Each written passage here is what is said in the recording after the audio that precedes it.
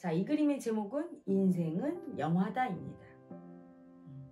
인생이 한 편의 영화죠. 내가 주연, 감독, 각본, 연출 뭐 다 하는 혼자서 1인 면역을 하는 영화예요.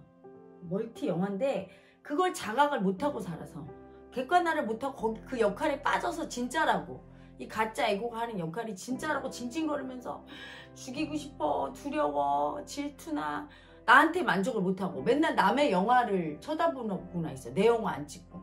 그런 아가들이 위해서 그린 거예요.